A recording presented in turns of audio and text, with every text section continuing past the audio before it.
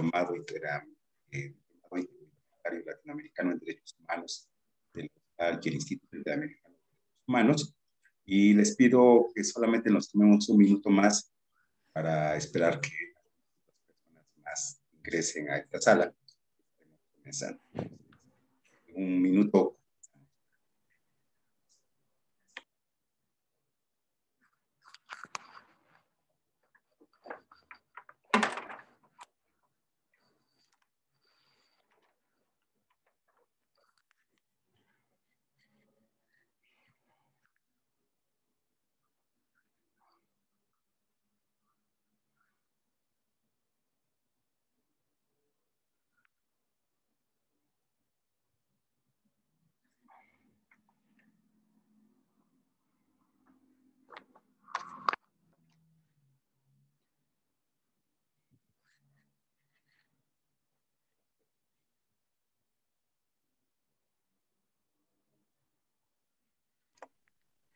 Bueno, ya estamos listos y listas. Eh, les pido por favor que me indiquen si se escucha bien mi audio para comenzar este, esta actividad.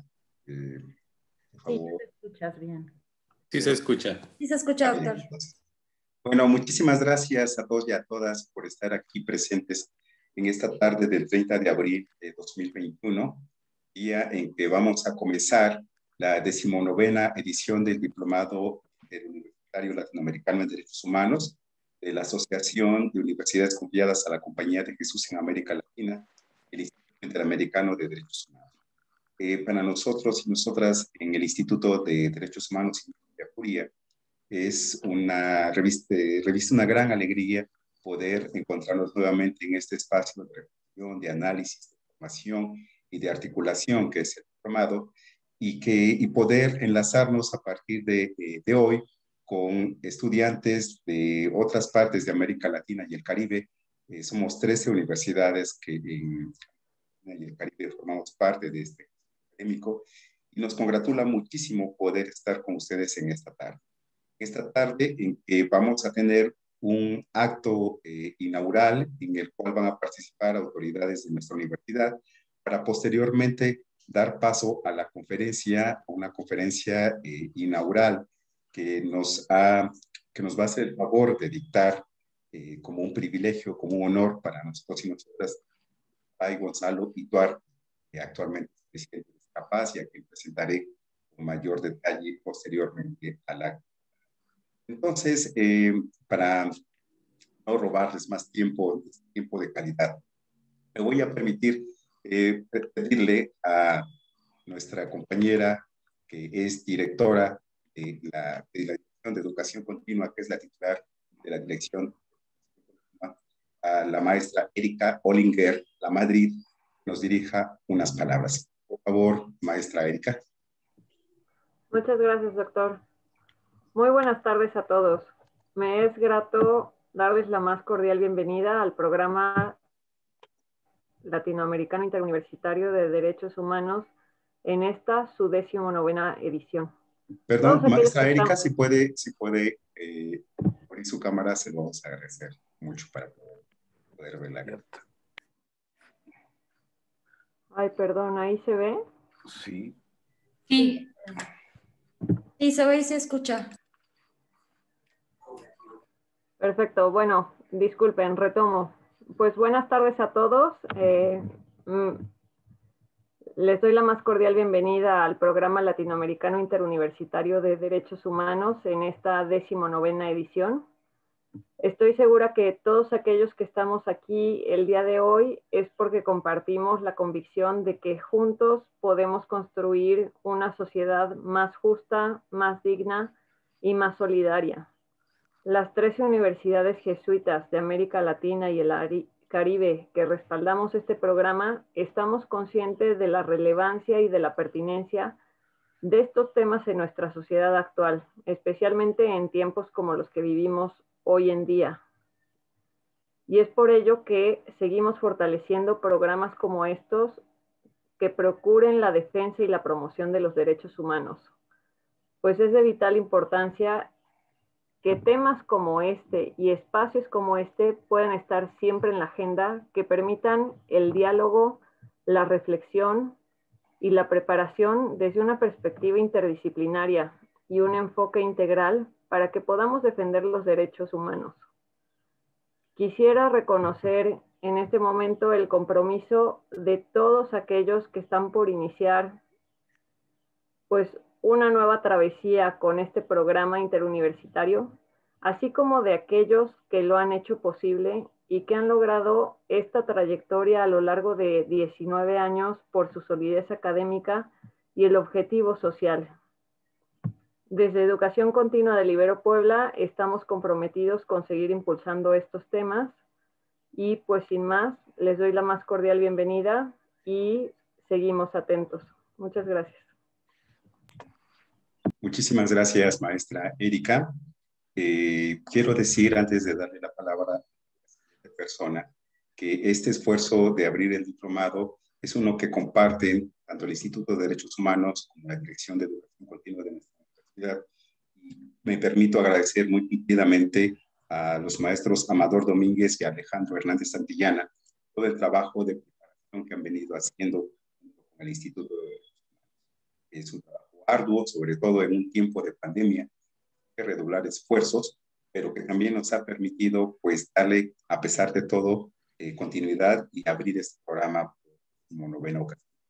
Eh, ahora entonces le pido por favor a la maestra Rosario Arrambide, que es directora del Instituto de Humanos Ignacio Yacoria, que nos haga el favor de darnos un. Gracias, Eduardo.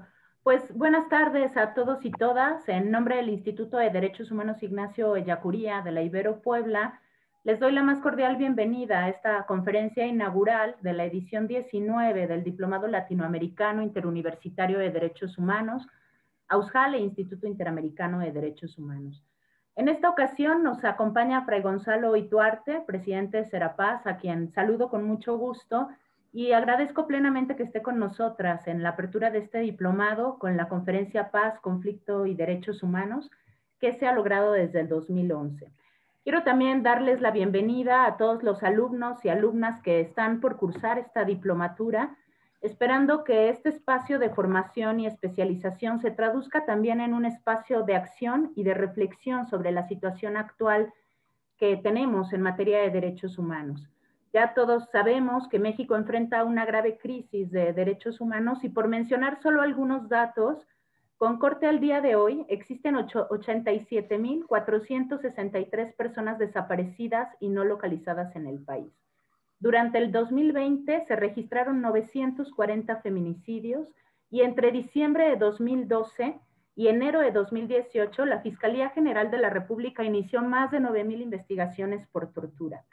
Estos datos tan solo evidencian algunas de las graves violaciones a derechos humanos que se cometen en nuestro país y por ello el objetivo de estos diplomados se inscribe no solamente como un ejercicio académico, sino como ya mencionaban anteriormente, es una apuesta a la transformación social a través de impulsar la sensibilización y formación del alumnado como actores conscientes de esta realidad de los derechos humanos pero sobre todo de la necesidad de incorporarlas en todos sus aprendizajes, en su quehacer diario, a través de la prevención, la promoción, la protección, la defensa y la exigibilidad de los derechos humanos.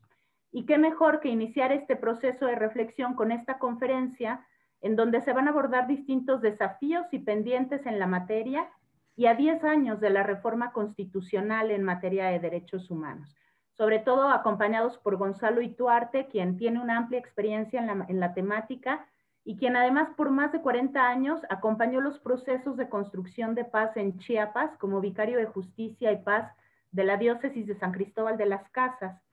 Finalmente, eh, quiero agradecer a todos y todas las que están acá por la confianza que dan en estos procesos formativos, al área de educación continua, como ya mencionaba Eduardo, por todas las gestiones y el esfuerzo realizado, a todo el equipo del Instituto de Derechos Humanos Ignacio Yacuría por hacer posible este espacio, el inicio de este diplomado, especialmente Eduardo, Ixel, Heréndira, a Cuau por todos los apoyos en la coordinación, gestión, vinculación y difusión. Y pues sin mayor preámbulo les doy la bienvenida, eh, les agradezco mucho, muchas gracias. Muchas gracias a Rosario y muchas gracias también a Erika, la maestra Erika, la educación continua, que nos han eh, dado estos mensajes que eh, ciertamente son muy importantes para iniciar nuestro diplomado. Les agradezco muy cumplidamente que han tomado el tiempo para estar en este acto, ¿no? Ahora me voy a eh, permitir presentar a nuestro invitado, a, a Fray Gonzalo Ituarte Verduzco.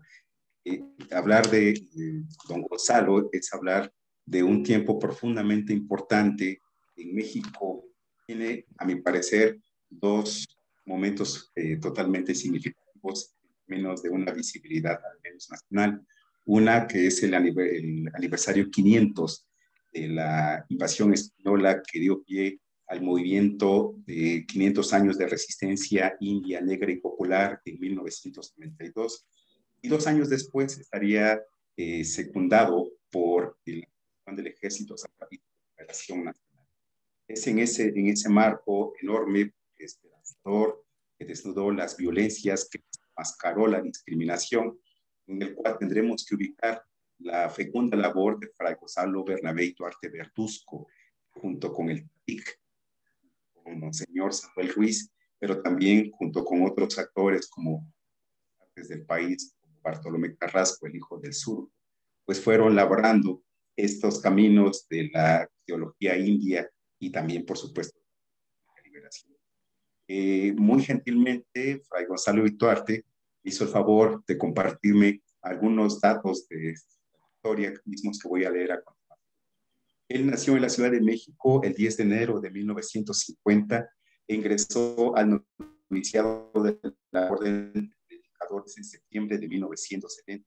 Se ordenó presbítero por don Samuel Ruiz García el 28 de enero de 1978 y, en febrero asumió la responsabilidad de la misión de Ocosingo, Camirano, que abarca la mayor parte de la selva lacandona con población mayoritariamente indígena en la diócesis de San Cristóbal de las Casas Participa en la atención a los refugiados guatemaltecos desde 1981 hasta su repatriación en 1998. En 1987, desde la ciudad de San Cristóbal de las Casas, continuó sirviendo en el proceso de evangelización inculturada en la población indígena y en 1989 funda por mandato del obispo don Samuel Ruiz, Centro de Derechos Humanos Fray de las Casas, eh, mismo que continúa hasta hoy y, y continúa hasta hoy como miembro del Consejo Directivo del mismo centro. Es miembro de la Comisión de Justicia y Paz de los Dominicos para América Latina y el Caribe. En 1992 fue nombrado canciller de la diócesis de San Cristóbal de las Casas y en 93 vicario general. Para 94 colaboró con Samuel Ruiz la mediación del diálogo por la paz entre el Ejército Zapatista de Liberación Nacional y el Gobierno de México. En de 94 fue secretario de la Comisión Nacional de Intervención de la CONAI para el diálogo y la negociación por la paz en Chiapas, México, labor que continuó en la Asociación Servicios y Asesoría para la Paz, Serapaz, de 1900, eh, desde 1999. 1995 es, eh, es eh, se convierte en miembro del patronato del Consejo Internacional Interreligioso de Paz y en 2005 es nombrado consejero del mismo organismo. De 1996 a 2001 es vicario de Justicia y Paz de la Diócesis Cristóbal en 97 funda Melel organismo civil para atención a los niños indígenas en situación de calle San Cristóbal de las En 2002 vuelve a la misión de Ocosingo Mirano para continuar el servicio pastoral y el trabajo por la reconciliación y la paz. Asesor del Comité de Derechos Humanos para Pedro Lorenzo de la Nada en Ocosingo. En 2003 cursa una maestría en globalización cultural pensamiento cristiano en América Latina y el Caribe en el Instituto Pedro de Córdoba en Santiago de Chile. Desde agosto de 2003 es vicario episcopal del equipo celtal en la diócesis de San Cristóbal. De mayo de 2005 a mayo de 2009 es prior provincial de la provincia de Santiago de México de la Orden de Predicadores. En 2013 regresa a San Cristóbal de las Casas y en 2015 es nombrado nuevamente vicario de la diócesis. En 2016 participó en la creación del Servicio para Migrantes San Martín de Porres y funge como su coordinador.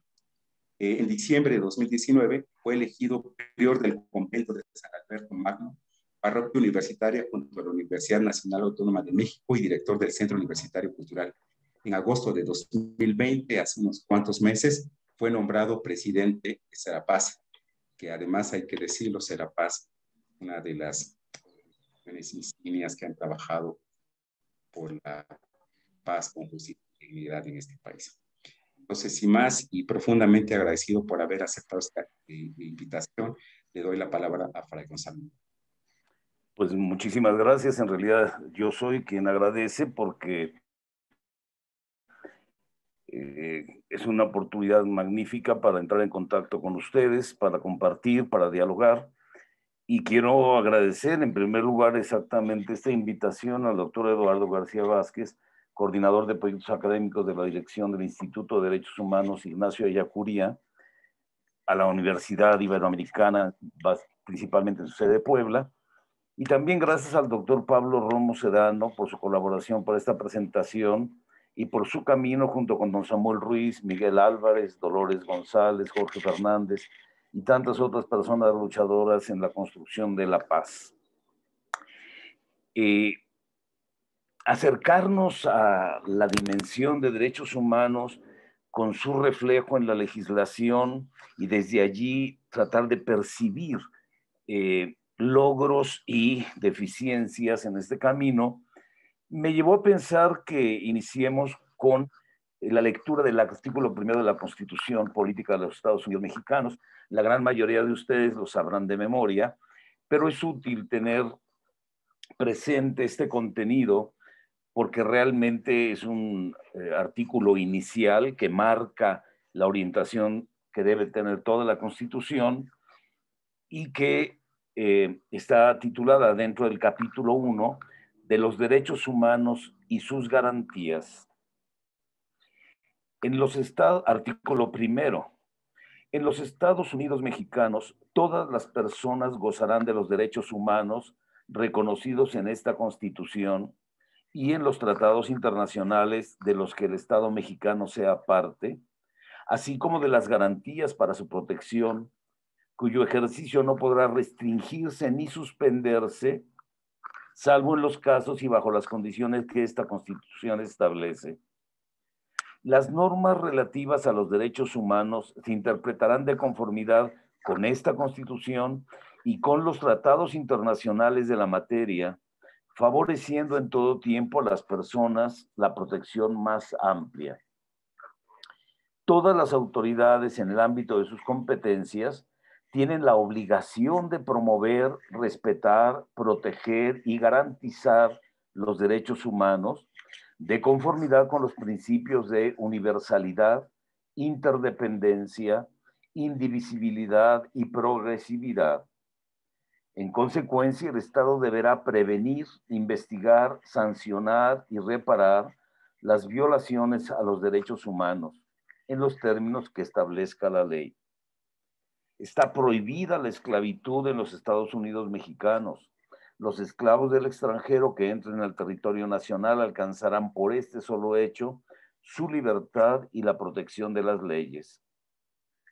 Queda prohibida toda discriminación motivada por origen étnico o nacional, el género, la edad, las discapacidades, la condición social, las condiciones de salud, la religión, las opiniones, las preferencias sexuales, el estado civil o cualquier otra que atente contra la dignidad humana y tenga por objeto anular o menoscabar los derechos y libertades de las personas.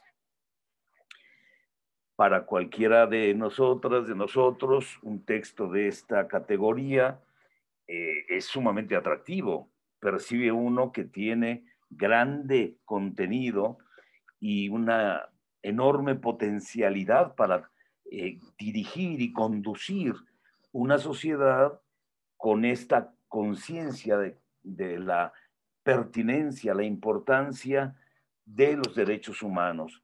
No estaba formulada así la Constitución mexicana, no hago comparación, no soy abogado, pero ciertamente antes se hablaba de garantías individuales que el Estado ofrecía a la población Aquí ya es una, perspectiva de derechos.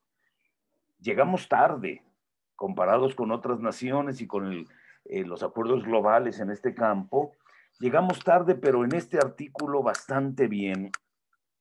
Y obviamente ha tenido fecundidad.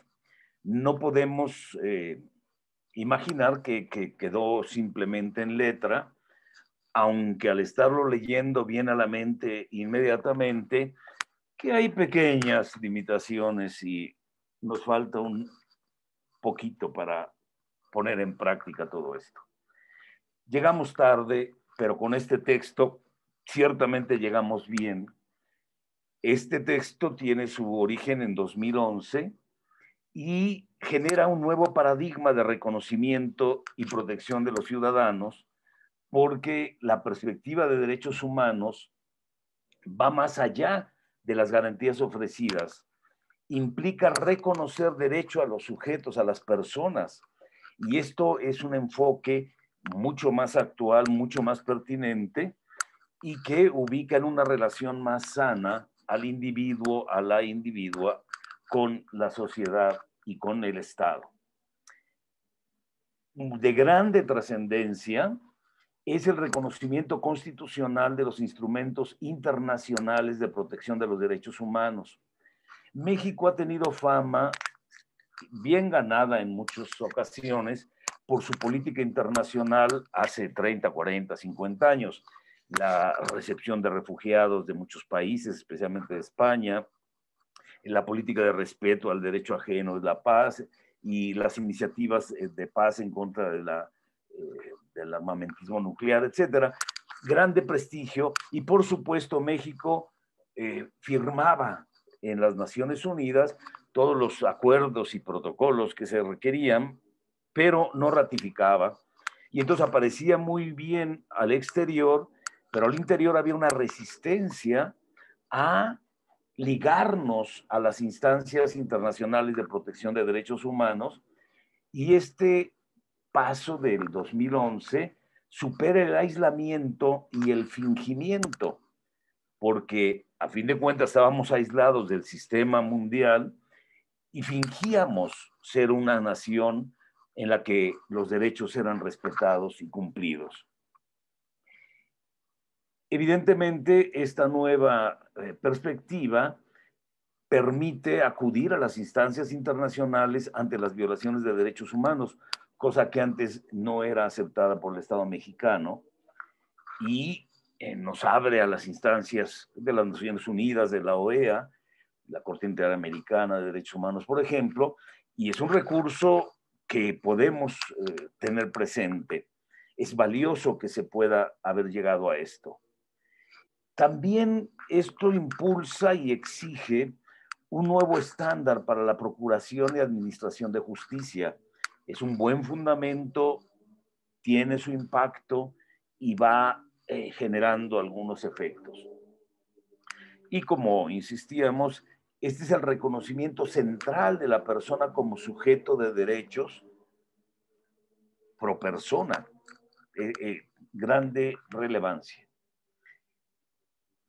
De aquí se derivan nuevas instancias y organismos públicos para la protección y promoción de derechos humanos o el perfeccionamiento, el mejoramiento de instancias ya existentes, pero que se enriquecen con esta perspectiva que asume la Constitución. Insisto, en su primer artículo es la definición fundamental. Esto conlleva, facilita a una mayor eficacia de las instancias que promueven los derechos humanos, por ejemplo, de las mujeres y las instituciones ligadas a esto, también la protección de las eh, mujeres víctimas de violencia, eh, los derechos de las niñas y los niños tienen un enfoque muy eh, fuerte al respeto. A niños, niñas y adolescentes, su, su institución, el sistema de protección integral para los derechos de ellos, una mayor atención en contra de la discriminación hay toda una institución basada en esta perspectiva para superar la discriminación en México. Hemos sido un país con altos grados de discriminación. También se ha favorecido desde esta plataforma la visibilidad y la exigibilidad del derecho a la información, a la libertad de expresión y la exigencia de la transparencia de la información para todas las personas, que es un dato central, fundamental para crear una sociedad eh, democrática, justa. También se hace posible una comisión ejecutiva de atención a víctimas que con la perspectiva de derechos se acerca a las víctimas de una manera diferente, renovada, y también se impulsa desde aquí, desde esta perspectiva, la reforma de la Procuraduría General de Justicia de la República Mexicana para transformarla en la Fiscalía General, que en su definición y en su institucionalidad tiene más viabilidad para asumir la perspectiva de derechos humanos. Existen mecanismos como el de la protección de personas defensoras de derechos humanos y periodistas, que depende de la Secretaría de Gobernación, pero que está allí para respaldar esta libertad de expresión y el derecho a defender los derechos humanos, el derecho a defender a los demás. Es una eh, importante y trascendente eh, eh, consecuencia de este enfoque. Y por supuesto, algo que no se puede palpar tan directamente ni tiene una formulación institucional, es una transformación cultural. El integrar en la cultura de la sociedad la perspectiva de derechos humanos, el ir permeando las instituciones y las relaciones con esta perspectiva, es evidentemente un reto que lleva muchos años para poderse realizar el hacer realmente eficaz, efectivo el artículo primero de la Constitución mexicana es eh, tarea pendiente en muchos sentidos. Y entre los efectos que también podemos encontrar a partir de esa reforma es la consolidación, el crecimiento de organismos de la sociedad civil que asumen la defensa, la promoción, el impulso de los derechos humanos de la manera más integral en todas sus dimensiones. Con un documento de esta magnitud y, solidez, como es el artículo primero de la Constitución, podríamos este, quedarnos sumamente satisfechos. Qué alegría, podemos decir, ya tenemos todo lo necesario para garantizar que en nuestro país se puedan ejercer y defender los derechos humanos, superar los conflictos y construir la paz. Creo muy importante que no nos quedemos en el texto como lo recibimos, sino que miremos un poco su gestación. Las leyes son un acto segundo, digamos, a partir de la experiencia de los pueblos, y ha sido una experiencia de los pueblos, una lucha del pueblo de México a lo largo de muchos años, lo que hizo posible este avance en el contexto además internacional, porque evidentemente hay un intercambio. la transformación de la constitución no surgió como graciosa concesión del Estado mexicano.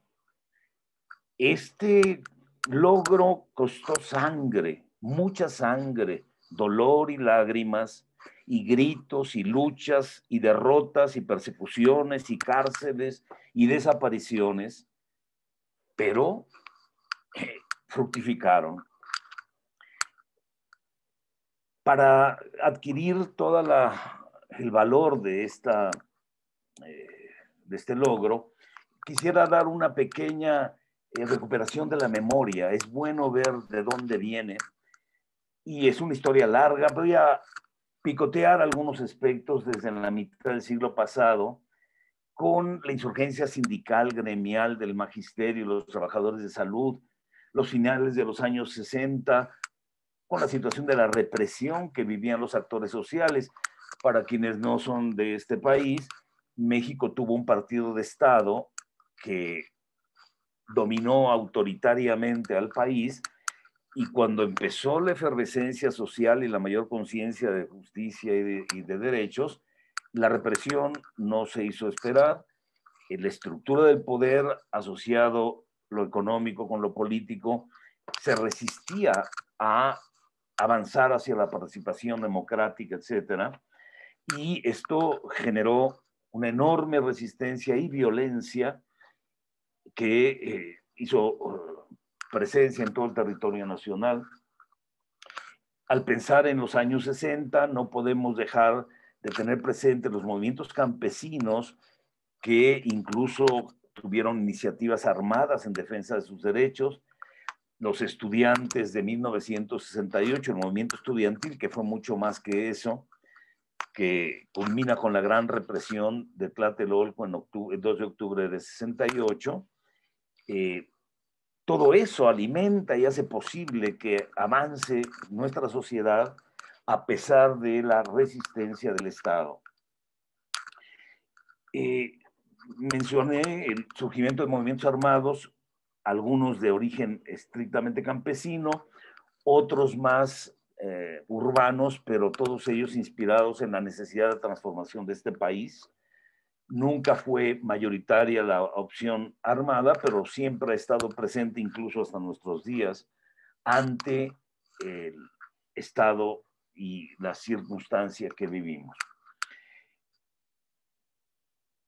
El surgimiento de estos grupos armados y de la insurgencia social generó una guerra sucia en México vivimos una guerra realmente eh, fuerte en contra del pueblo. Se usó al ejército mexicano y a las policías y demás para esta guerra sucia, como en muchos lugares de América Latina.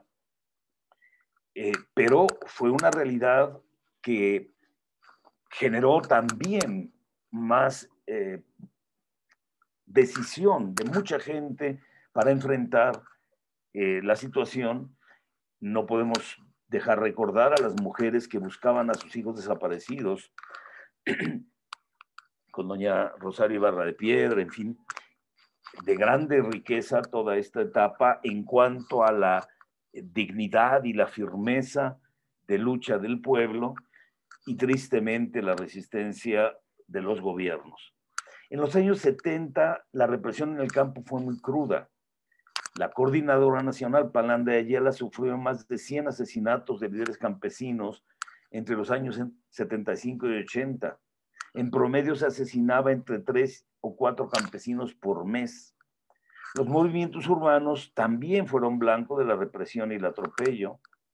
En el primer informe por la democracia México 1968, 1988, se contabilizaron más de mil ejecuciones arbitrarias entre 1970 y 1986.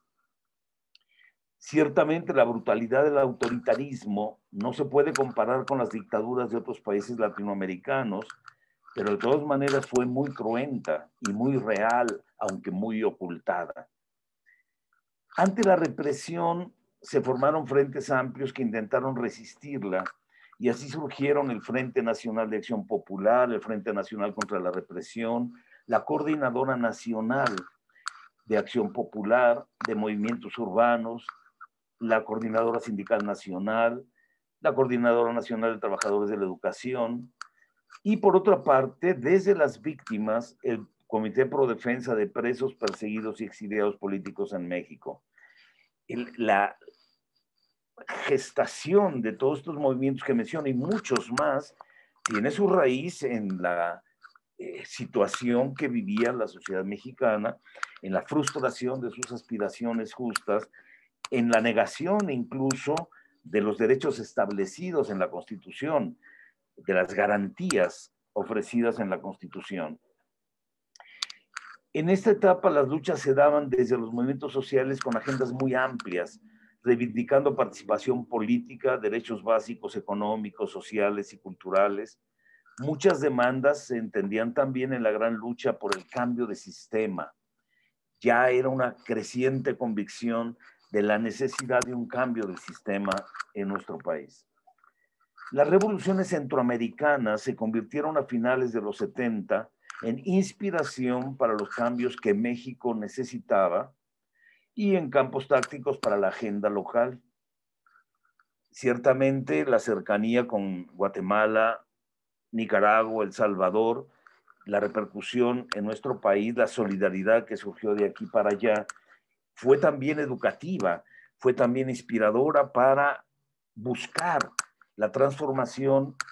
La gran mayoría de las personas optaban por la solución pacífica, pero hubo también quienes insistieron en la lucha armada. En los años 80 ganaron más terreno en México en espacios de solidaridad, de documentación de las violaciones a los derechos humanos de países como El Salvador, Nicaragua, Guatemala y algo también Honduras en aquel tiempo. En México se refugiaron miles de centroamericanos, especialmente de Guatemala, familias que huían del terror de la guerra y de la represión de los gobiernos autoritarios de entonces. Esta fue una experiencia muy intensa, vivida en la diócesis de San Cristóbal, particularmente el territorio de la parroquia que me tocaba presidir entonces, la parroquia de Ocosingo, que abarcaba toda la zona de la Candona, frontera con la selva de Guatemala, y nos tocó recibir a, estos refugiados y, generar toda una institución de respaldo. Pero todo esto nos fue marcando, todo esto también contagió de aspiraciones de dignidad, de justicia, de igualdad, de respeto, etcétera, y permitía ir sembrando la conciencia y la importancia de eh, estas luchas. Pero no solo estos acontecimientos sociopolíticos, eh, económicos y militares, sino también el terremoto del 19 de septiembre de 1985 también se convierte en un elemento que ante la inmovilidad del Estado mexicano para atender a las víctimas, los ciudadanos y ciudadanas salimos a las calles a ayudar y a organizarnos.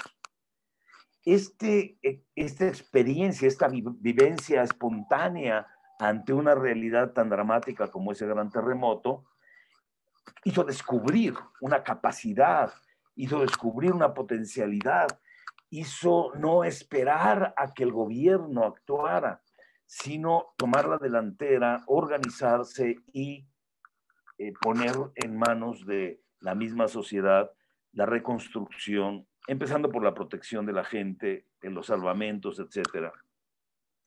Y esto genera toda una cultura de discusión, de análisis eh, sobre la acción ciudadana que habría de desarrollarse después.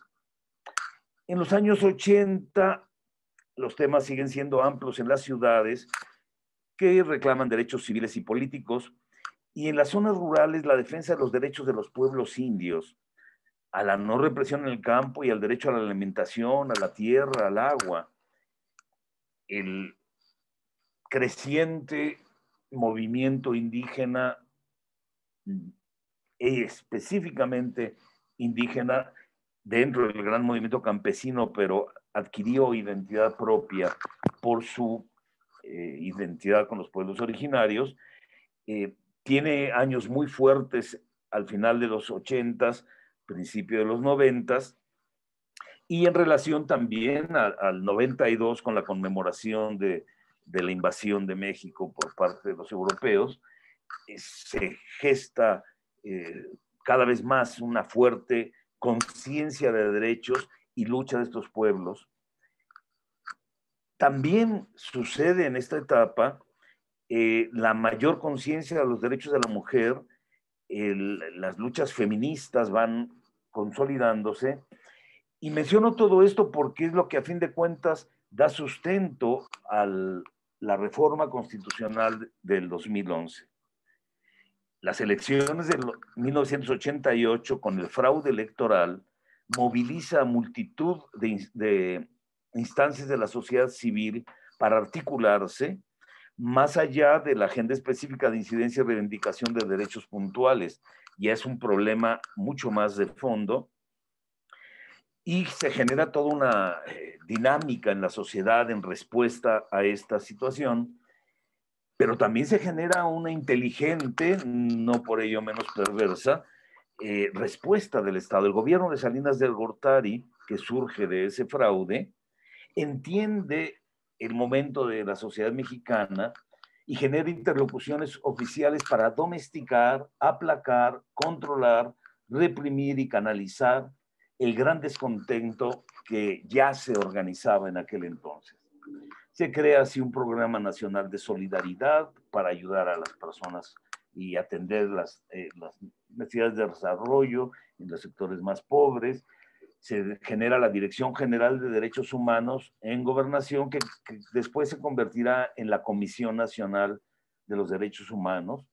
Y este gobierno, fruto del fraude, eh, con habilidad, crea instituciones de apoyo al campo, genera nuevo corporativismo social que amortigua y acalla el enojo y la amplia protesta social terreno fecundo para que surgiera lo que siguió. Simultáneamente con estas medidas de control social y amortiguamiento, se acentúan las grandes reformas neoliberales que van a polarizar la población del país, que van a alterar la distribución de la riqueza y a generar la concentración de ella en menos manos, etc. Se da fin a la reforma agraria que estuvo incompleta, mal hecha, corrompida y que dejó pendientes muchos eh, conflictos agrarios. Se suspende la Secretaría de la Reforma Agraria y se genera otra dinámica para enfrentar la problemática del campo. Junto con ello se dan la reforma energética, las primeras eh, reformas energéticas, de comunicaciones y las privatizaciones de sectores productivos de las así llamadas empresas paraestatales. Eh, encima de una, un rostro de voy a atender la problemática social, se mete un sistema eh, que llamamos neoliberal con todos los efectos que conocemos y que no hay que repetir. Pero Concomitante a esto, no independiente, creo yo, el crimen organizado va creciendo, va ampliando su presencia eh, en diferentes partes del país y esto genera un ambiente también de grave peligro y, de, desequilibrio en el que las personas que se querían enfrentar esta realidad denunciando se jugaban la vida. ¿Cuántos periodistas no fueron asesinados, perseguidos en esta época por la presencia creciente del crimen organizado? Muchas personas defensoras fueron asesinadas a lo largo de la última década del siglo XX en este país y algunos periodistas y comunicadores en general fueron amenazados y asesinados en estos años. En esta década florece el fenómeno de las instancias públicas de derechos humanos, con el sistema más grande del mundo de ombudsman ombudsperson, este sistema que nace del gobierno para convertirse en el interlocutor del Estado mexicano, desplazando las organizaciones de la sociedad civil, realmente carece de credibilidad en la mayoría de las instancias estatales hasta la fecha. Antes y después del levantamiento armado.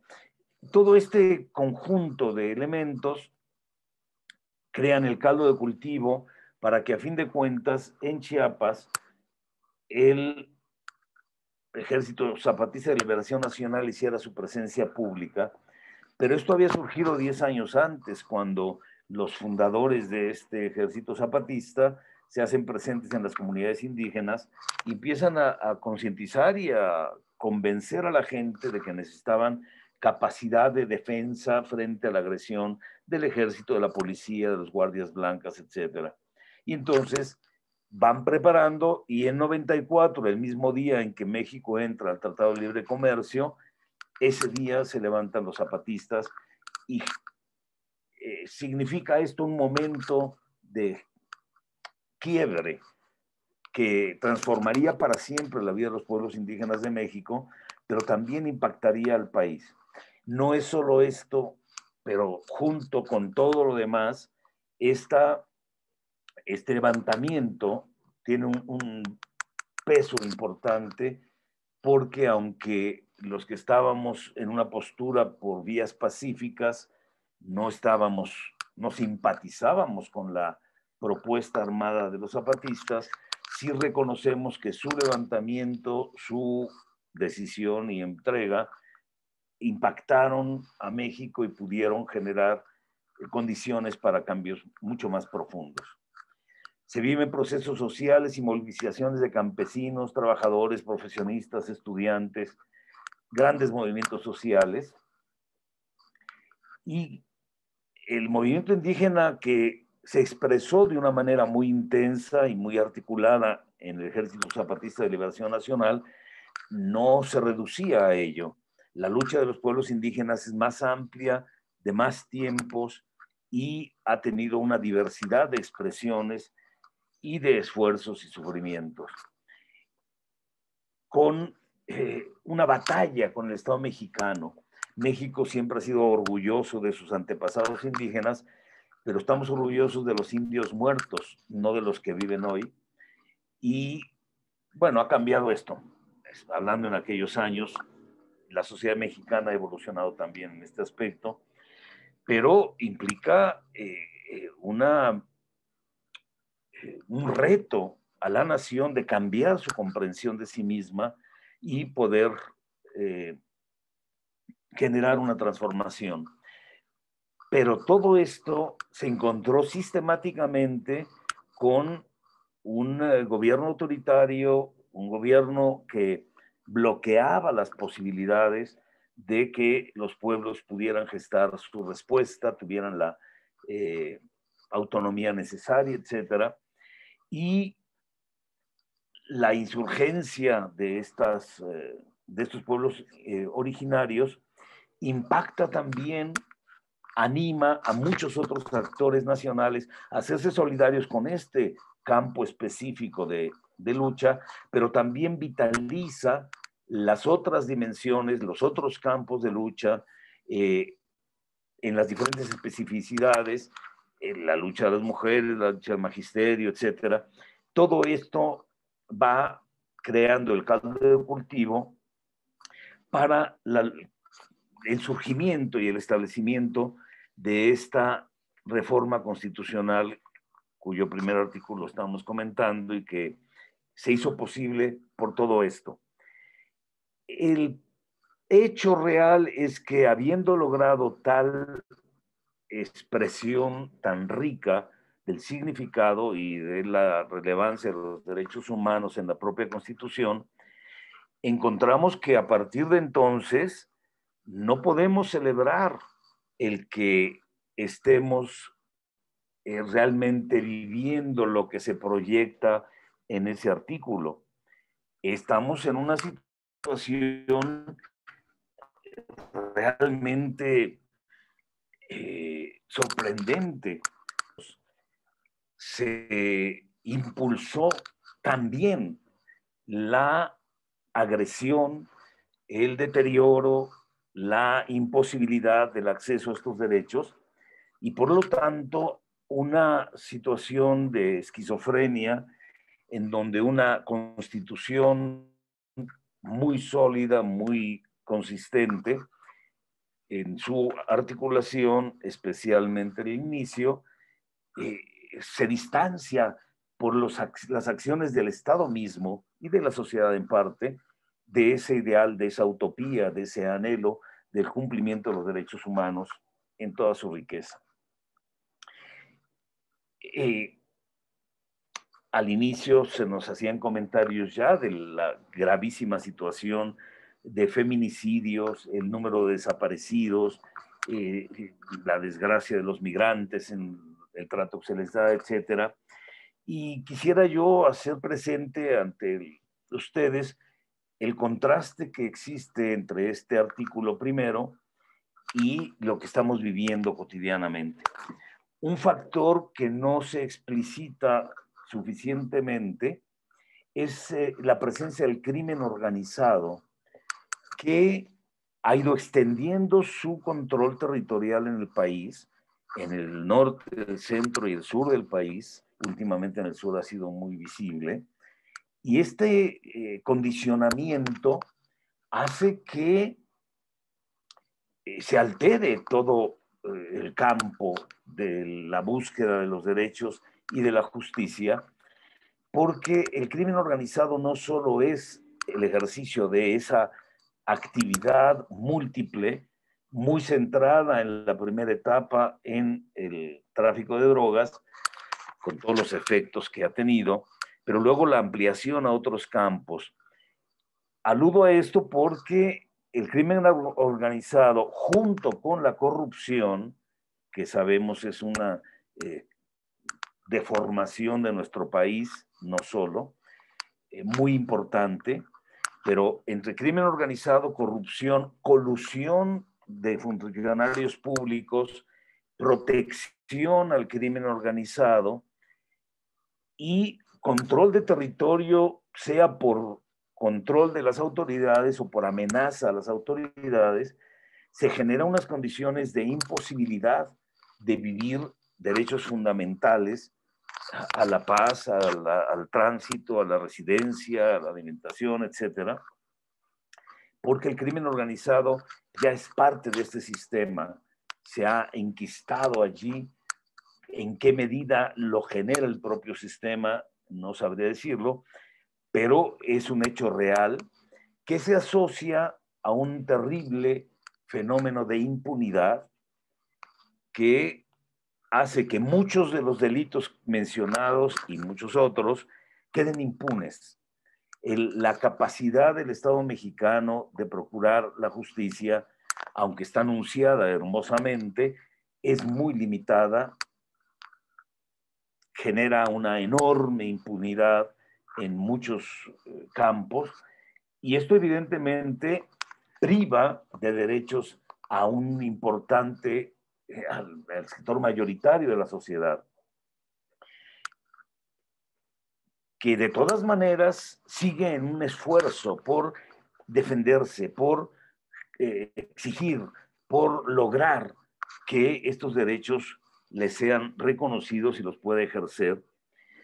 Pero eh, sí tenemos una frustrante falta de voluntad o de capacidad de los gobiernos para enfrentar a esta delincuencia organizada y armada y a la utilización política de los grupos armados últimamente ha sido muy visible cómo el crimen organizado está alterando el campo de la democracia al contaminar eh, las elecciones, al amenazar y asesinar a candidatos, a funcionarios, etc.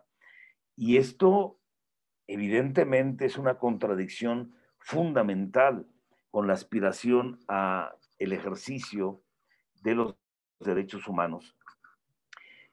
Eh, últimamente se ha visto que incluso impulsan a sus propios candidatos para eh, tomar el poder eh, más directamente en muchos municipios, tal vez en algunos estados. Eh, siempre es oculto esto, pero, pero se manifiesta en toda su violencia. Tengo como una referencia más inmediata San Cristóbal de las Casas y Chiapas, en donde varios grupos armados que tuvieron su origen en parte en el narcotráfico y en parte en eh, delincuencia de, otra naturaleza, se están haciendo presentes y están eh, controlando el territorio, enfrentando una reacción mínima del Estado y sometiendo a la sociedad a condiciones realmente eh, negativas como las que se viven en otras partes del país. Adverso a todo este anhelo de ejercicio y defensa de los derechos humanos es el capitalismo depredador en el que vivimos, porque el derecho a un medio ambiente sano, el derecho al agua, el derecho a la alimentación, todo esto está siendo alterado, agredido, afectado por el tipo de capitalismo que conocemos como neoliberal, con sus megaproyectos, con su minería tan devastadora, con su afán de apropiación de los bienes de la tierra, de la perspectiva exclusivamente e, económica, ojalá fuera ecuménica, de la perspectiva individualista, consumista, etcétera. Todo esto se hace un caldo de cultivo negativo, adverso eh, que genera nuevamente luchas, que genera nuevamente exigencias al gobierno, al Estado, para que se aplique este artículo primero de la Constitución, pero que eh, se encuentra sistemáticamente eh, bloqueado, impedido, frenado. La destrucción de la naturaleza que estamos viviendo en nuestro país es también un, eh, una situación que directamente afecta, impide el ejercicio de los derechos humanos en todas sus dimensiones y que está destruyendo la casa común, como decimos los católicos en particular, animados por Francisco, eh, el, afán de convertir en mercancía hasta el agua, la apropiación de humedales, la destrucción de bosques, todo ello parecería hecho para impedir que haya vida, impedir que haya vida con justicia y dignidad, sumado a todas las demás problemáticas. Hasta eh, el, las administraciones bancarias, los afores, etcétera, se vuelven en, eh, instrumentos de control, de, despojo, de empobrecimiento. Todo ello no es, eh, no lo planteo, no lo traigo a la mente eh, para derrotarnos. Es para percibir que hay un largo camino por recorrer, que sí tenemos un fundamento constitucional para todo este esfuerzo y esta lucha, pero que eh, hay que seguir el camino. Hay grandes campos de acción. En Serapaz los hemos organizado de una manera que se pueden ver de, otras formas, pero quisiera compartirles este conjunto de eh, ejes de las agendas de las luchas contemporáneas una defensores, seguridad y justicia, en la que nos acercamos a la problemática de las personas defensoras de derechos humanos, de la libertad de expresión en riesgo, el tema de la desaparición forzada, la tortura y los temas de seguridad humana y pública, el debate sobre la creación de una nueva policía militarizada que conocemos como Guardia Nacional, el tema de la reforma del sistema de procuración y administración de justicia, que se sigue quedando muy corto, y la lucha contra los feminicidios son áreas que específicamente enfoca Serapaz. No agota todo, pero es donde ubicamos nuestra tarea. Un segundo campo, un segundo eje es tierra, territorio y bienes naturales, que son eh, elementos fundamentales de los derechos de la gente la defensa de la tierra, el territorio de los pueblos indios y enfrentar el saqueo y la destrucción de los bienes naturales. Todo ello ven ustedes de inmediato cómo impacta el ejercicio, impide el ejercicio de derechos. Específicamente, trabajamos el campo de los derechos civiles, políticos y la libre expresión, por supuesto con el campo de la democracia, la participación, la transparencia y las reivindicaciones de las identidades, migrantes y refugiados, la agenda LGBTI, los feminismos, campos, todos ellos de lucha, campos, todos ellos plataforma de explicitación del anhelo de vivir y ejercer los propios derechos. Y también derechos sociales, campos eh, pertinentes, la relación de las empresas y los derechos humanos es eh, un acercamiento sumamente pertinente en una sociedad que ha cedido el poder del Estado a el capital, a las grandes empresas, y que a fin de cuentas se vuelven también violadoras de derechos humanos. La búsqueda de exigir la responsabilidad social y la pertinencia de tener presentes a los defensores de la tierra, de la madre tierra del ecosistema, que hoy se ven más afectados por eh, el, neocolonialismo colonialismo capitalista. Obviamente también los periodistas están en nuestro horizonte. Tengo la desgracia de no ser académico y entonces mis aportes son ligeramente desordenados, pero confío estar aportando algunos elementos como para conversar eh, a partir de las experiencias y conocimientos de ustedes. Eh, la lucha por la democracia y los derechos humanos han caminado de la mano de la historia de este país y en los últimos años los motores que han impulsado la reivindicación de esto son los grandes movimientos sociales acompañados de muchas organizaciones de derechos humanos. Esta combinación ha sido virtuosa, esta eh, comunicación ha sido vital, no tendría sentido, de hecho, el que hubiera organismos de la sociedad civil de defensa de derechos humanos si la sociedad estuviera pasmada, estuviera frenada, estuviera ciega, no anhelara.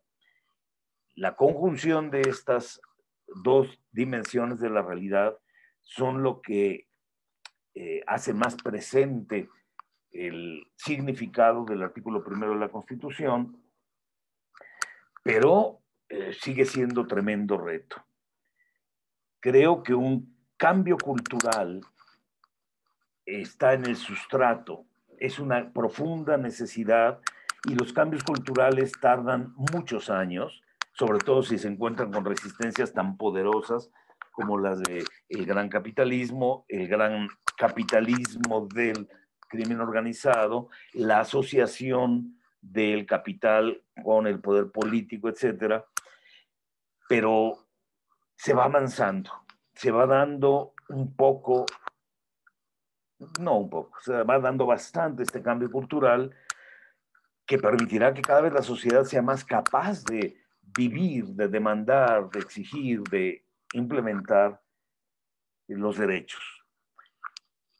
Esto nos plantea que en la etapa que vivamos eh, subsecuente, hemos de trabajar en conciencia eh, inteligente, lúcida, la necesidad de generar mejores relaciones comunitarias eh, sostenibles, en sus comunidades sustentables, en las cercanías, para que de allí se tenga la fortaleza para integrarse a la sociedad mayor.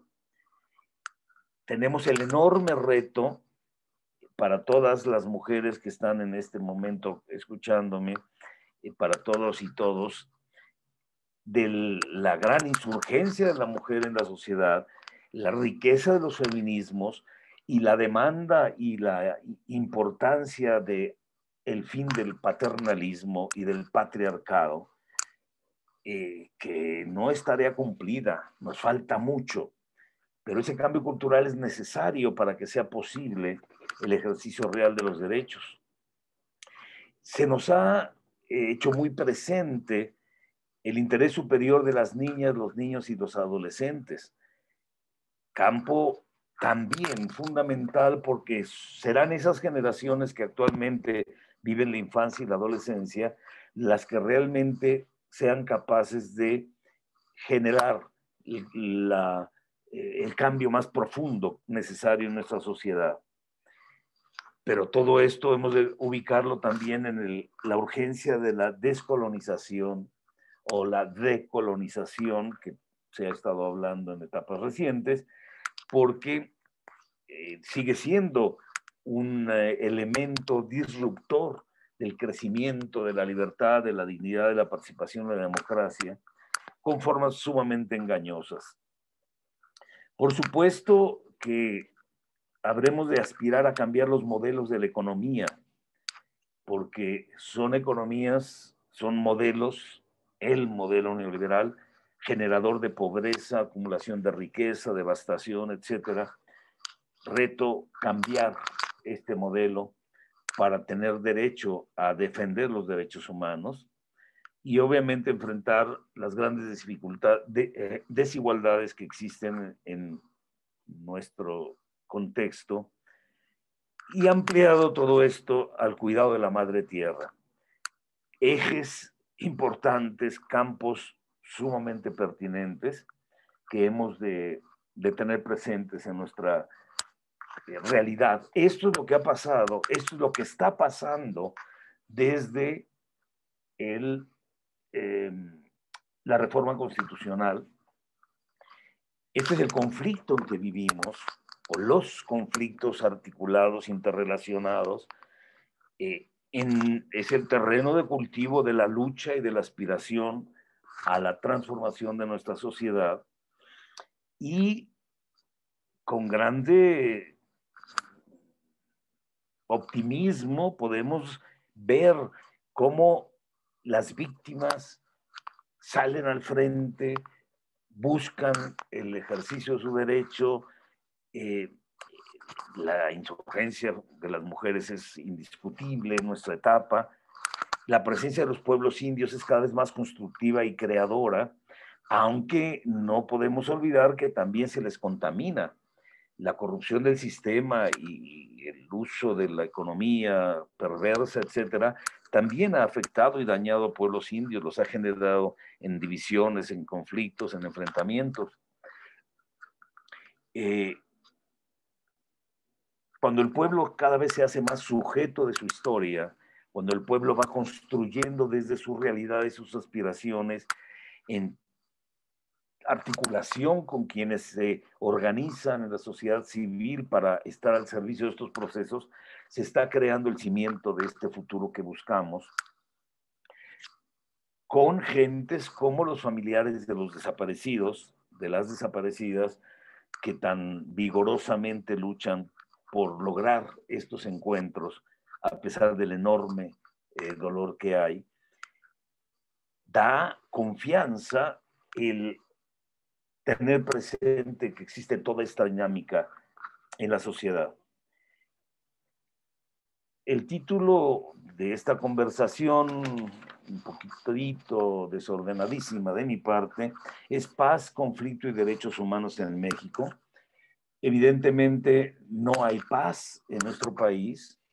Evidentemente vivimos en una situación de conflicto con una tremenda violencia la violencia manifestada de diferentes maneras. Una es la violencia física de los homicidios, ya se mencionó los feminicidios, las desapariciones. Simplemente el día de ayer, en eh, la información, nos decían hubo 93 homicidios, en Guanajuato 12, en el Estado de México 12, en Michoacán 9, son los que tienen más, pero simplemente en estos tres años ya van 82.131 homicidios, muchos de ellos en las zonas de narcotráfico y enfrentamientos de este tipo y en otras formas de homicidio, pero que muestra que no existe la paz, que vivimos una situación de conflicto, un conflicto con raíces estructurales, un conflicto con contexto internacional, y un conflicto que se escapa de las manos, que no se logra eh, frenar, el tener estos números de, homicidios, de muertes, en lo que va de este año llevamos 10.110 al día de ayer, y, y eso nos reta. Esto nos impulsa a convencernos de la necesidad de construir una paz justa y digna, transformando las causas estructurales. No, no podemos quedarnos, y no ha sido la intención de quienes luchamos en esto, en la superficialidad. Hay que ir a las causas estructurales que generan la conflictividad y generar las condiciones políticas favorables para el diálogo en la sociedad, para que a partir de análisis, de capacitación, de formación, de estrategias, de consensos, se permita ir superando la conflictividad y seguir fortaleciendo a los actores sociales. No va a venir de arriba eh, eh, la transformación, el lenguaje que se usa eh, actualmente, pues sí, parecería que todo viene de arriba, pero en realidad es la sociedad, los movimientos sociales, los que harán posible que realmente se den las transformaciones que se requieren. En el caminar ha resultado sumamente luminoso y potente el acercarse con una opción por los pobres desde la perspectiva cristiana que dio origen a Paz y a la, al activismo de muchísimas personas en el campo de los derechos humanos, la justicia y la paz, eh, mirando desde la realidad de los pobres, se puede tener mejores condiciones y fortalezas para enfrentar la situación actual y generar los, los cambios de largo alcance que se requieren con valores que realmente eh, favorezcan la dignidad y la justicia. Construir la paz digna y justa es tarea de todas y todos en una sociedad. Algunas organizaciones la volvemos tema específico, pero no eh, reducimos a esto el reto, sino sumar nuestras fuerzas con los actores sociales para que se alcancen estas eh, metas, estos anhelos. Necesitamos transformar la sociedad. Qué bueno que tengamos leyes mejores. La constitución en esos campos se ha mostrado bien construida. Falta nada más ponerla en práctica. Y en medio de este contexto, en medio de esta catástrofe de los derechos humanos también en muchos sentidos, quiero mencionar una frase de Fray Beto, un fraile dominico brasileño, eh, muy conocido en general, eh, víctima de la violencia, preso político en Brasil, etc. Pero en una conferencia reciente en que hablaba de la eh, encíclica Fratelli Tutti, hermanas y hermanos todos, presentando el drama de la situación en Brasil, en América Latina y el Caribe, terminó diciendo, pero hay que dejar el pesimismo para tiempos mejores. No podemos ante esta realidad caer en el pesimismo. Más bien, convencernos y comprometernos a través de el estudio, del conocimiento, del descubrimiento de esta dimensión profundamente humana de los derechos, de la justicia y de la paz, para seguir enfrentando este, estas circunstancias. Dejar el pesimismo para tiempos mejores quiere decir que sigamos caminando. Pues muchas gracias, perdón por el modo de realización de esta conversación. Muchas gracias, eh, Fray Gonzalo Ituarte, por esta, eh, yo me atrevo a decir, por este, esta primera, este primer momento tan tan provocador también, también en que toca tantos puntos, pero entre ellos está, estos eh, desafíos que tienen los movimientos sociales, como fue usted refiriendo a lo largo de su exposición, en relación con una trayectoria institucional en el plano de los derechos humanos que es más formal que real, ¿no? A todas luces. Y que nos abre eh, muchas preguntas, pero también eh, muchas eh, interrogantes, muchos cuestionamientos respecto a cuáles son los caminos que deberíamos estar transitando, que deberemos ir construyendo de cara también a la captura del discurso de los derechos humanos, de cara también a expectativas políticas analizadas que se van o no se van eh, concretando, y de cara también pues, a cuestiones como las que estaba en el marco de la alocución de Beto, que por cierto fue uno de los asesores de Lula. Pues, criticó en la mosca azul de una manera muy, muy, Y bueno, entonces yo invitaría a los compañeros y a las compañeras que están en esta sala a platicar, a conversar con, con eh, Fray Gonzalo Ituarte. Me parece que es un momento interesante en el que podemos ir estableciendo un diálogo ¿no? que nos permita exactamente estar en un plano horizontal, ¿no? Eh, dando la experiencia de nuestro ponente con las experiencias seguramente todos y cada uno de los que estamos aquí. Entonces, eh, podemos abrir un espacio de diálogo. Eh, les pido por favor que si quieren tomar la palabra, que, que la pidan o que pongan ahí este, en el chat su pregunta, ¿no? Y, la, y las vamos, o su comentario, eh, solicitándoles que si van a tomar el micrófono, cuando acaben su alocución, que esperamos sea concisa y breve también, y muy precisa, pues lo apaguen. ¿no? Entonces, estamos abiertos a, a, esta conversación de, de abril. Quiero tomar la palabra.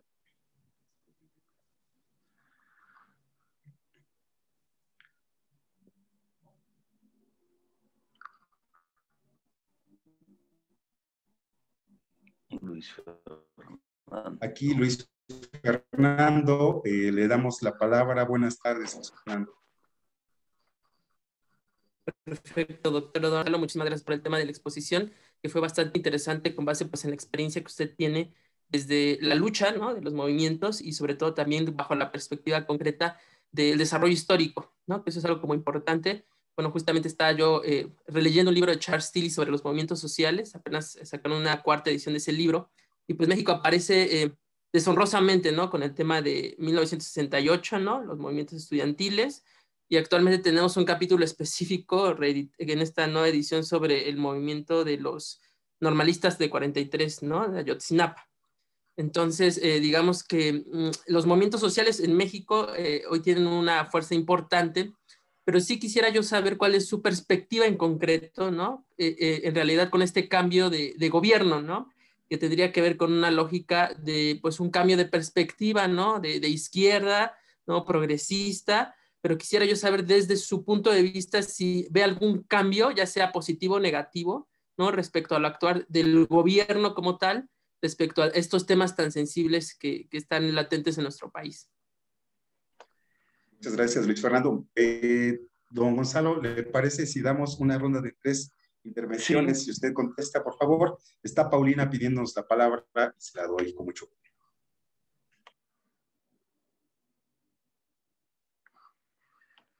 Paulina, tu micrófono.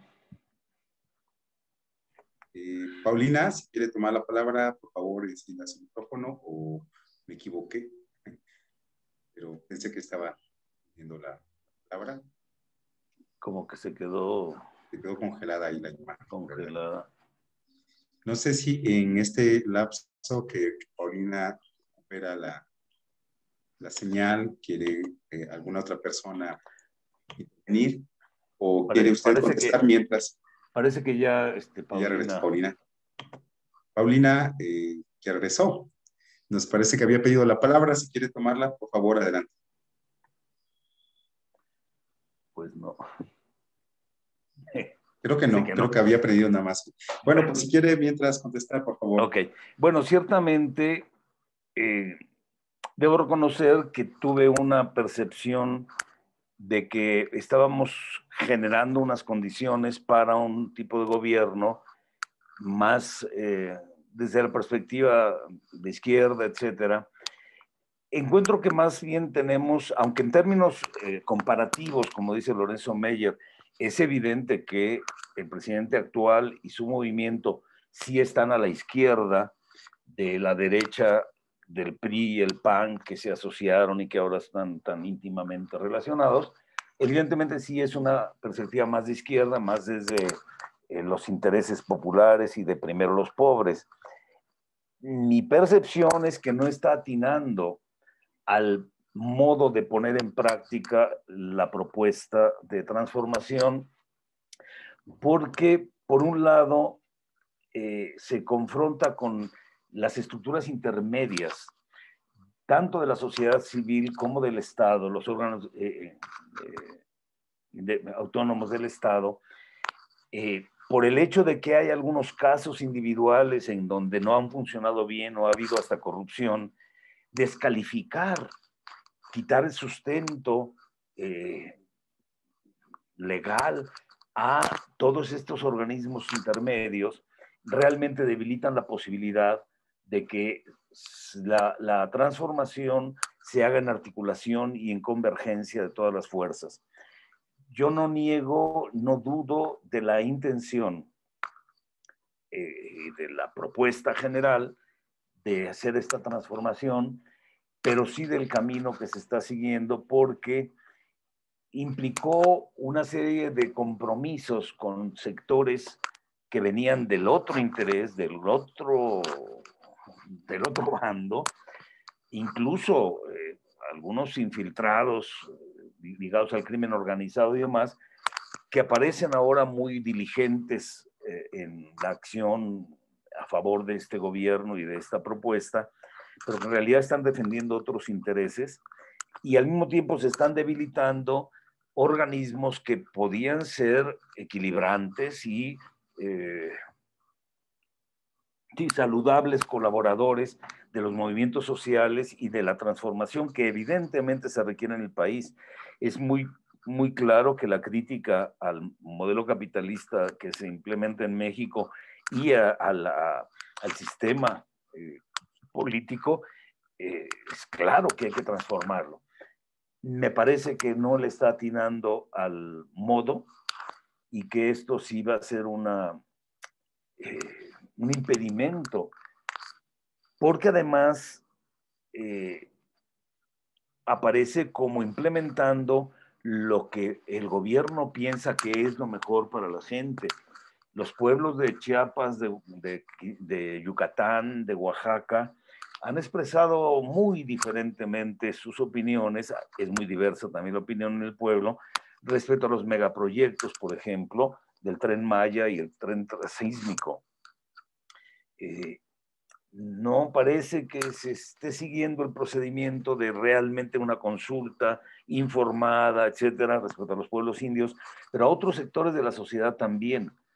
Eh, entonces tengo esa preocupación realmente profunda y una cierta frustración, porque me imaginé que íbamos a vivir una etapa mucho más dinámica, con una mayor participación de la sociedad, pero este, pues estamos viviendo esta experiencia de la descalificación de la sociedad civil. Muchas, muchas gracias, eh, don Gonzalo. Eh, no sé si hay algún otro comentario que haya eh, en, el interés de vertir hacia don Gonzalo. Fernando, adelante de la palabra, por favor. Gracias, Eduardo. bueno, al igual que el compañero Fernando que preguntaba hace unos momentos, yo también quisiera preguntarle lo siguiente. Hemos visto en los últimos dos años, dos años y medio del gobierno de López Obrador, que en esta historia, esta revisión histórica de las luchas sociales, anteriormente la sociedad civil salía a reclamarle al gobierno el respeto y la apertura hacia los derechos humanos. Sin embargo, hoy en día me da la impresión de que con todos estos cambios, incluso de tipo legal, que se han aprobado ya en la Cámara de Diputados y Cámara de Senadores, hay por parte del gobierno, me da la impresión, una tendencia a cerrar esos caminos de los derechos humanos, a coartar más los derechos humanos de la sociedad civil, que ya se habían ganado a través de intensas luchas como la del 68, el 71. Puebla tiene una historia muy rica en, en el reclamo de los derechos humanos. Entonces, para mí es algo muy preocupante, pero algo que me, que me llama mucho la atención es que en este gobierno que se dice de izquierda, que ganó la elección presidencial y muchas gobernaturas con la bandera de izquierda, nos está llevando a una regresión tremenda. Si revisamos algunas lecturas, podemos hacer, eh, eh, ver una regresión de hasta 100 años a tiempos de Lázaro Cárdenas. ¿A qué nos va a llevar esto? ¿Cuál es la perspectiva? ¿Cuál es la perspectiva que podemos visualizar a futuro o qué podemos esperar en los próximos tres años si en tres años o dos años y medio de gobierno hemos visto estas manifestaciones degradantes hacia los derechos humanos? Sí, es un reto grande. en la dinámica social, y aludo también a la dinámica eclesial, cuando hay eh, predominancia de una tendencia, de un sistema, etcétera, la resistencia se va al otro extremo y como venimos de una etapa de, eh, del sistema como se llevaba y la corrupción y todo esto, la reacción, la forma en que el presidente quiere enfrentarla es yéndose al extremo eh, opuesto, pero efectivamente con un horizonte de debilitamiento de la eh, sociedad civil, no del discurso y del intento de implementación de, ejercicio de los derechos del pueblo, de, los derechos humanos del pueblo, pero con tal margen o, tal eh, enmarcamiento político en el conflicto político de México que el, resultado no está, no, está siendo el que hubiéramos eh, anhelado. No, no siento que todo sea una regresión. Sí hay elementos que eh, analizados se pueden encontrar valores reales. Habría elementos de la época de Lázaro Cárdenas que ojalá pudiéramos recuperar, pero en cuanto a ciertos principios básicos que, implementó la Revolución Mexicana, pero eh, ciertamente el gran esfuerzo que se hizo para crear instituciones como la Comisión de Derechos Humanos o el Instituto Federal Electoral en aquel momento cuando luchamos para que hubiera un organismo autónomo encargado de esto, el querer volver a poner bajo las instancias del Estado, del gobierno más bien, estas instancias del Estado tiene eh, grandes peligros, grandes riesgos, me preocupa muchísimo. Confío en que haya la lucidez entre eh, la sociedad para encontrar caminos. Eh, no sé qué va a pasar en estas elecciones. la forma del corporativismo contemporáneo hecho a base de individualismo, al individualizar las ayudas económicas a tal multitud, pues altera todo el campo y sí plantea un reto sumamente grande. Sí veo un debilitamiento de la sociedad civil, eh, el impedimento de conseguir los fondos necesarios, la supresión de algunos fideicomisos que eran importantes para algunas funciones, eh, como de la CEAB, etc. Eh, realmente coincido en la preocupación y, y por eso como decía Fray Beto, dejo el pesimismo para mejores tiempos.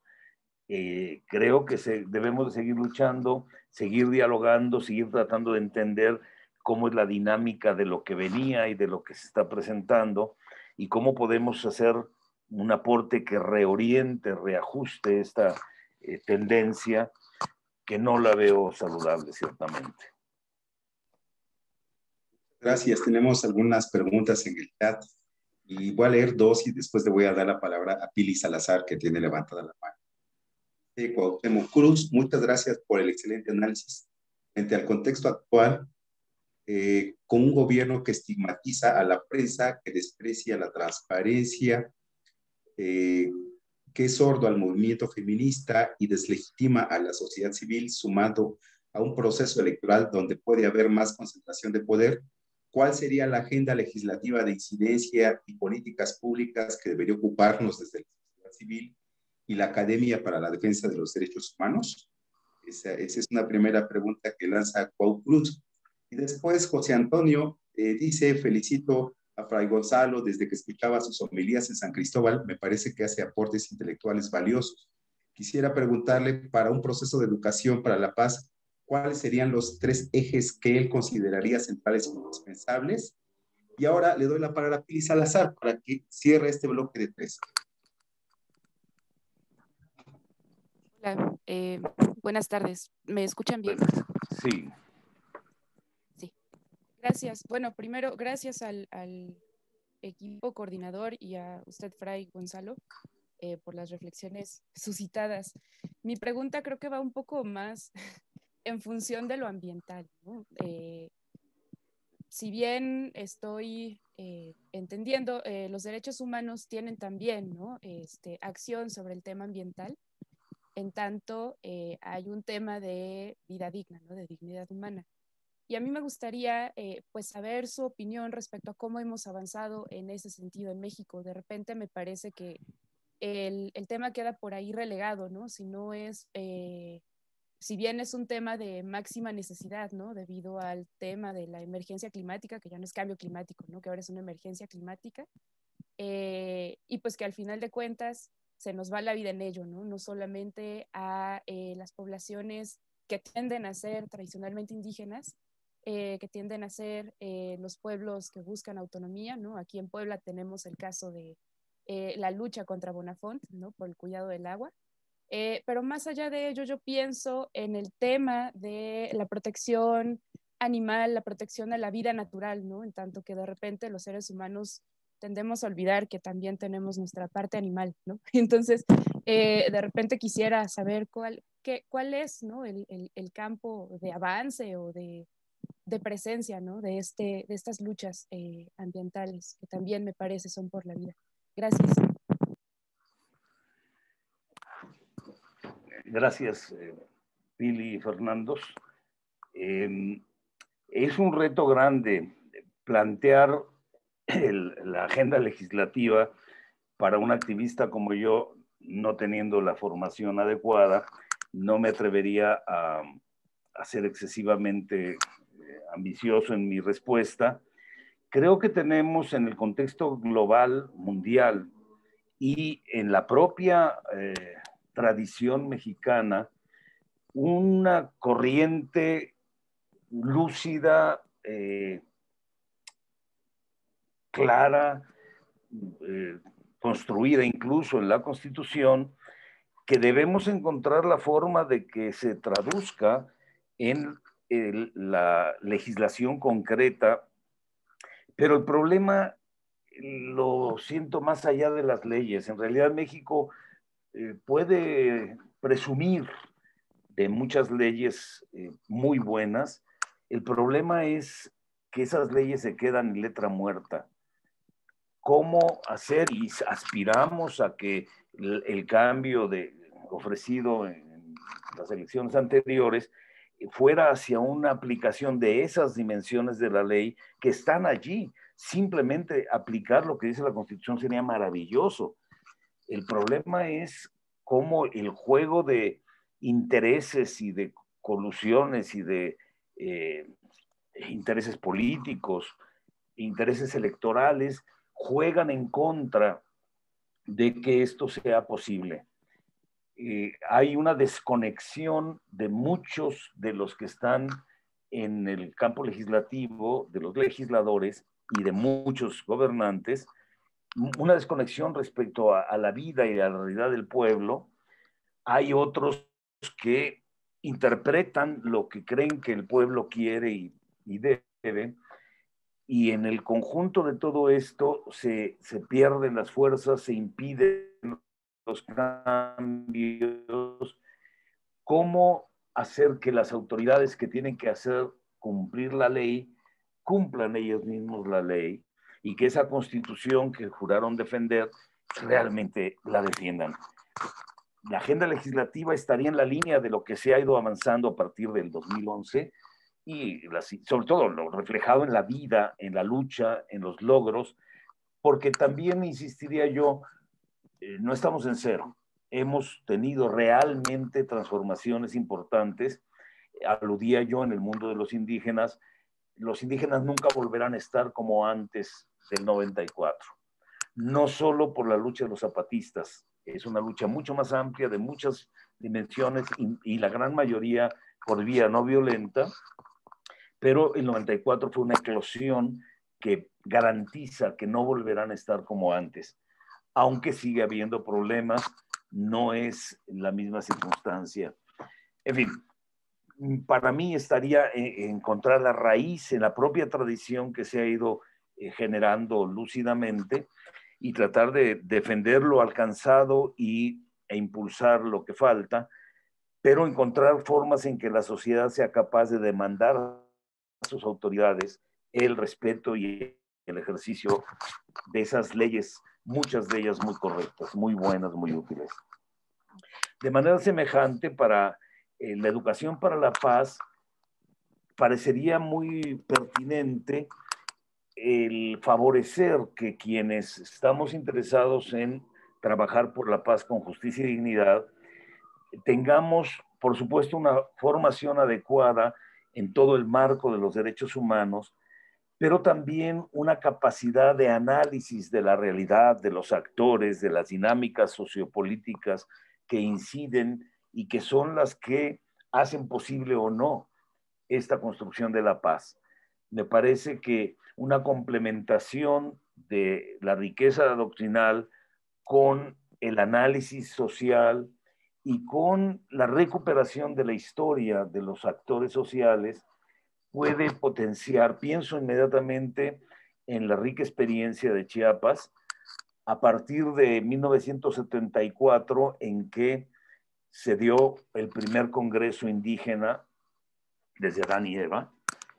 Se juntaron los pueblos indios de Chiapas, dialogaron y descubrieron sus riquezas, sus capacidades, a sus ancestros, la grandísima cultura maya, y esto les dio confianza y lucidez para organizarse y luchar por muchos años hasta el día de hoy.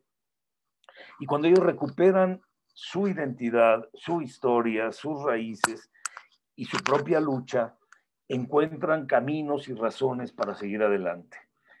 Creo que esa eh, lucha que fue acompañada desde el ambiente eclesial y que en otros lados se ha dado sin este eh, contexto, eh, es inspirador. Recuperar la propia historia, mantener la identidad, generar cohesión social, ser capaces de superar las contradicciones secundarias que se decía hace tiempo para unificarse ante los retos reales y ante el enemigo real. Me acuerdo cuando se anunciaba aquí que el enemigo ruso el, de la Unión Soviética, el gran enemigo, teníamos el enemigo a la puerta, era Estados Unidos y su capitalismo, y nos hacían tener miedo del oso de los comunistas en, Rusia, en la Unión Soviética. Claro, ustedes jovencitas y jovencitos, pues no les tocó vivir esa experiencia, pero a nosotros se nos engañaba con esa, con esa historia. De ahí viene el coco de la Unión Soviética, cuando teníamos la invasión de Estados Unidos con todo lo que ha afectado.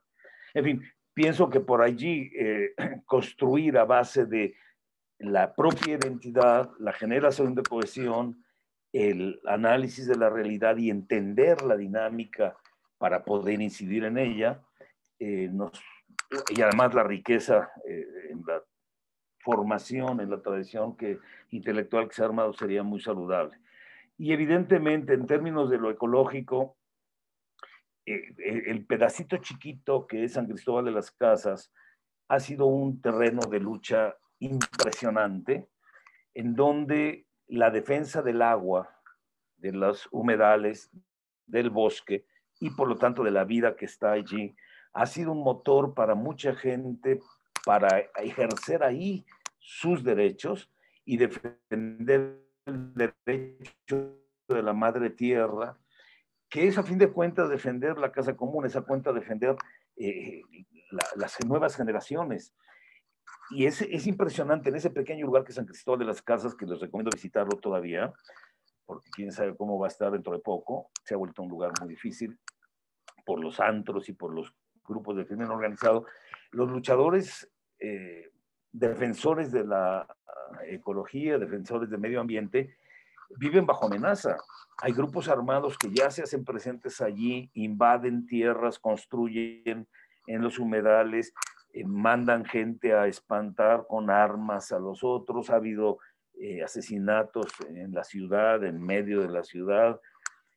Todo esto generado por la lucha por la tierra, por el control del territorio, el tráfico de las drogas, etcétera y la víctima más inmediata es el medio ambiente, la destrucción de, la fuente de vida que es el agua. También tenemos ahí una larga lucha contra la Coca-Cola porque tiene una planta muy grande que extrae muchos millones de litros de agua, mientras hay mucha gente de la población de San Cristóbal que no tiene agua. Y ahora que estamos construyendo una casa para migrantes, tenemos el reto de cómo hacer para que haya suficiente agua para una casa con 100 eh, personas, la mayoría van a ser aspirantes al refugio, sin agua. Entonces, eh, si no defendemos esa fuente de la vida, pues estamos arriesgándonos a quedarnos sin casa y por lo tanto sin vida. Eh, realmente coincido mucho y sistemáticamente procuro en mis programas de radio, que hago todavía en Radio Tepeyac en San Cristóbal, insistir en la importancia de esta dimensión de la lucha de derechos humanos. Gracias, don Gonzalo. Tenemos una última pregunta de, las personas que están en esta, esta sala. Dice, muchas gracias. La cruda realidad, el crudo desencanto de la llegada de Morena al poder, sobre todo para quienes llevaban años en el activismo participando en movimientos por nuestros derechos, no, nos da algunos mensajes sobre la pobreza de la política partidista. ¿Es insuficiente o incluso incompatible la transformación social con el actual sistema partidista en México? Es una pregunta que nos formula, formula Amanda Ramos y acaba de, bueno, es, la única, es la última, el otro era un agradecimiento. Gracias. Sí, evidentemente hay una distancia enorme, no solo en México, sino en general en el mundo, de los partidos políticos respecto a la vida de la sociedad. Hace muchos años, don Samuel Ruiz, eh, nuestro obispo querido Tatic, ya visualizaba que el futuro era de la sociedad civil, no de los partidos políticos. Ahora veo con tanta claridad que fue visionario, porque a fin de cuentas, una vez que están en la plataforma de los partidos políticos en la lucha por el poder y por los enormes recursos de que disponen, yo creo que si la política se hiciera sin esos salarios gigantescos y esas aportaciones enormes a los partidos políticos para sus campañas, serían menos las gentes involucradas en ese tipo de política y serían mejores porque estarían luchando por valores, por principios y no por intereses. Hay obviamente gente muy valiosa que está convencida que hay que participar en la vida de los partidos políticos, pero también hay una bola de, de zánganos que están ahí chupando a ver qué sacan, defendiendo intereses que no son los del pueblo. Y en ese sentido, eh, se han vuelto un impedimento para el avance. Creímos que efectivamente los, eh, la construcción de esa alternativa que hoy está en el poder eh, iba a, tener mejor conexión, no se está viendo. La confrontación, eh, la polarización que se está dando ahora entre los partidos también no está siendo constructiva, por desgracia, porque es evidente que se necesita la diversidad de las posturas políticas, es indispensable, pero cuando los contrincantes se alían, los contrincantes históricos, los enemigos históricos se alían para enfrentarse al nuevo eh, enemigo común, se pierden valores, principios, criterios, eh, opciones, y bueno, se busca cómo sobrevivir en la fauna de la política partidista. Sí creo que están empantanando el proceso, no ha habido la lucidez eh, de los partidos políticos y los políticos partidistas para realmente conectarse con un proyecto de transformación de México eh, que responda al momento histórico y, al, y al, a la, eh, digamos, a, la proyección de futuro que pueda construirse. Es un inmediatismo y un pragmatismo eh, que, que seca, que mata, que destruye estas posibilidades. Creo que en, aún en esta adversidad, es necesario que sigamos insistiendo por activa y por pasiva en los grandes valores, en la crítica a todas estas instancias, en la aportación de alternativas. Eh, esto es más difícil, pero es fundamental. ¿Cómo pasamos, muchos de ustedes ya lo han hecho, de la crítica a la propuesta? porque el problema es que luego hicimos propuestas, se concretaron y se están desvaneciendo. Eh, hay que perseverar, hay que continuar, hay que eh, aportar con terquedad, con paciencia, con optimismo, porque hemos tenido tiempos peores. Cuando vivimos el momento, pues sí sentimos este, la golpiza, pero ciertamente en muchos campos ha habido avances significativos, ha habido eh, ganancia, incluso en las políticas actuales, aunque difieron en la forma en que lo están ejecutando, no cabe duda que hay sectores que han logrado un alivio, además en el contexto terrible de la pandemia. Eh, no se puede clasificar blanco y negro esta situación, es ambigua, hay aspectos positivos, hay aspectos negativos. Por desgracia, en la parte de los partidos, y en la colusión de partidos con eh, eh, corrupción, con intereses adversos a la población, etcétera, es muy grave. En Chiapas sí detectamos esta colusión y hace mucho daño. En fin, quiero animar a la gente a, la participación política, pero tal vez mejor no partidista. Eh, muchas gracias. Eh, Amanda Ramos dice muchas gracias por su respuesta. Saludos desde la Universidad de la Cruzana Interna. Y bueno, eh, con esto, con estas intervenciones vamos cerrando esta, este diálogo que se ha sostenido con, con Gonzalo y Duarte. Hay una cantidad de temas que obviamente darían para hacer un trabajo amplísimo, como esas viejas plenarias, esos viejos plenarios que se hacían hace, hace algún tiempo y fueron alimentando muchos productos en la propia de México y que nos llevaron precisamente a tener logros como los que acaba de señalar don Gonzalo esperanzadoramente, ¿no? Eh, y bueno, hay muchas cuestiones que tienen que ver, por ejemplo, con una pedagogía que se está incubando desde el dolor y el caminar de las propias víctimas. ¿no? Eh, ahí hay una, hay una cuestión que es muy importante. Hay una cuestión que el Estado, a mí me parece, en su gran, ese gran mastodonte patriarcal no está logrando visualizar pero que puede ser lo que dinamite su existencia, que es el movimiento feminista, ¿no? Y el movimiento de las mujeres, ¿no? Que tiene eh, todo para sembrar todo el, el Estado en su punto, todo el sistema, seguramente es un espacio muy esperanzador, aún con las tensiones y contradicciones propias de todos los movimientos sociales, pero seguramente ahí ha marcado usted como fermentos de las de viejas, de nuevas luchas que también vienen alimentándose de otras tantas luchas eh, centenarias. ¿no? Hace ratito usted mencionaba, ha habido momentos peores, los pueblos originarios llevan más de 500 años en sus luchas, ¿no? y seguramente de ahí podemos ir aprendiendo mucho, no siendo como muy objetivos en planteamientos, pero también aprendiendo eh, un poco como decía don Andrés Aubry, precisamente, mm. con mucha humildad de todo lo que está y también reconociendo que está logrado. Entonces, eh, don González, no sé si nos quiere decir unas cuantas palabras de cierre nada más para terminar esta sesión. Pues agradezco muchísimo la paciencia que me tuvieron. No estoy acostumbrado, no me manejo bien con estas tecnologías. Me gusta más el diálogo, eh, pero se hace difícil. Traté de, traer muchos elementos y, y, animar a quienes están en este diplomado a realmente meterle a fondo, el esfuerzo que están haciendo va a dar frutos, ha dado frutos a lo largo de la historia, como la reflexión teológica, por ejemplo, lo dio en la teología de la liberación, fruto de la lucha por la liberación que después se reflexionó.